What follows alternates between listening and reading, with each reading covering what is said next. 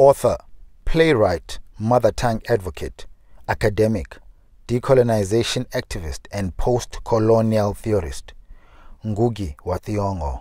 Ngugi wa Thiong'o was born James Ngugi in 1938 during a time when colonial rule was squeezing the last bit of life from Kenya, a time of change. This backdrop played a critical role in Ngugi's literature. His first recognizable work and debut novel, Weep Not Child, acknowledges Nigerian author Chinua Achebe as advisory editor. This happened after Ngugi met Achebe at a writers' summit and subsequently asked the Nigerian writer to check his first scripts. During his time as an academic in his home country, Kenya, he was instrumental in changing the direction taken by tertiary institutions, where they decided that African literature should be the center of focus in university literature departments instead of European literature. Later, he abandoned writing in English, deserted Christianity, and changed his name to Ngugi wa Thiong'o, stressing the importance of preserving African languages and identity through literature, amongst other things. He chose to write in his native Kikuyu, one of Kenya's indigenous languages.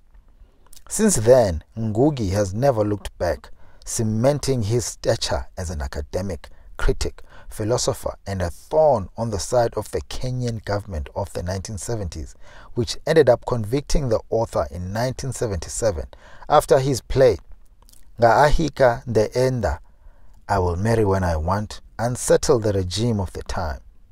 He was detained in a maximum security prison for over a year without trial. Being detained didn't deter him from his passion.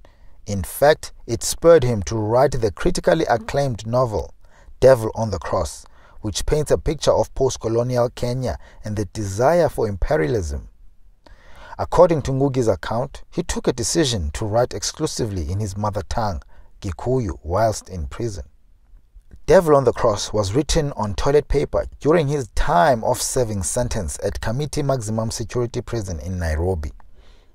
After coming out of prison, he was forced to go on exile in 1982, only to return to Kenya in 2004.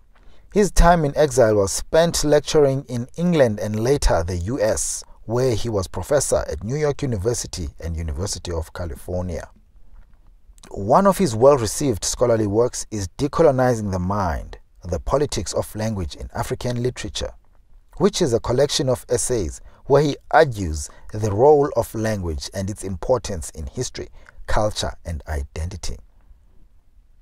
Among his accolades, the Lotus Prize for Literature, Park Kyong Ni Prize, 2019 Premi International de Catalunya Award for his courageous work and advocacy for African languages, and a number of honorary doctorates.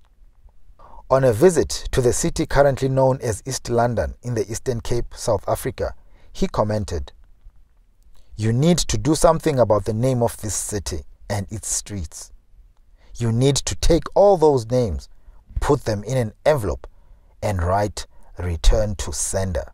In a recent interview, Ngugi reflects the problem with Africa is that the whole intellectual community operates within European languages.